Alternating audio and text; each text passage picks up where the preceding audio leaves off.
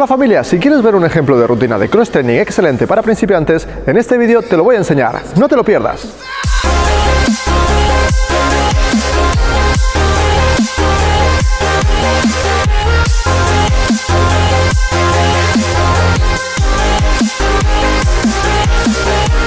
Como instructor certificado de cross training he pasado por todas las fases de aprendizaje de este deporte. Gracias a sus beneficios no he parado de practicarlo y ahora espero que poco a poco tú también puedas entrar en el mundo del cross training. Antes de empezar te recomiendo que eches un ojo a todos los vídeos de cross training que estamos creando para ti.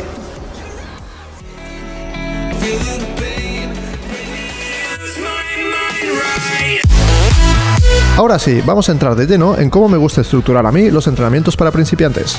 Si buscas por internet vas a ver mucha información respecto a cómo empezar en este deporte a través de What Marks como las chicas.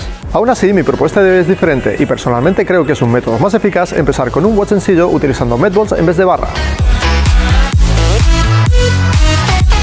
El WOD que vamos a hacer hoy se llama AMRAP. Para completar la sesión deberás hacer 5 cleans, 10 overhead press, 100 metros remando o 30 saltos de cuerda en circuito tantas veces como sea posible durante 10 minutos. Eso sí, la clave para empezar en este entreno será utilizar una medball en vez de una barra. Al ser un objeto acolchado y más fácil de manejar, te ayudará a interiorizar el movimiento que se debe hacer para cualquier ejercicio de alterofilia y perfeccionar tu técnica.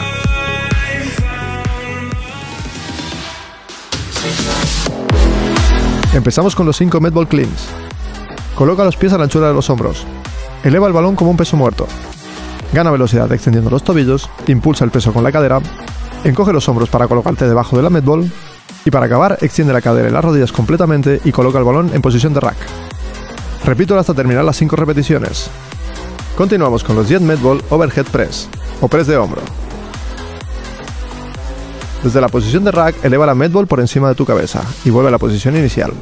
Repítelo hasta llegar a las 10 repeticiones.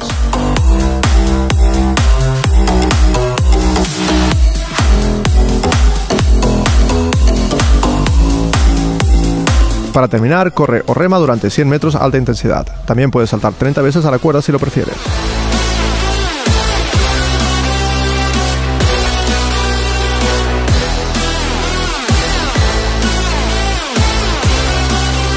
Cuando hayas terminado los tres ejercicios, repítelo de nuevo hasta llegar a los 10 minutos. Deberás hacer tantas rondas como sea posible en ese tiempo. En cada sesión tu objetivo será batir tu propio récord.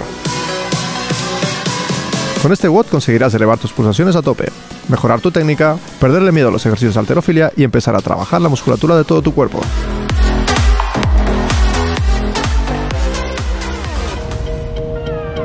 Hasta aquí el vídeo de hoy. Ahora ya sabes una buena manera para iniciarte en el cross training.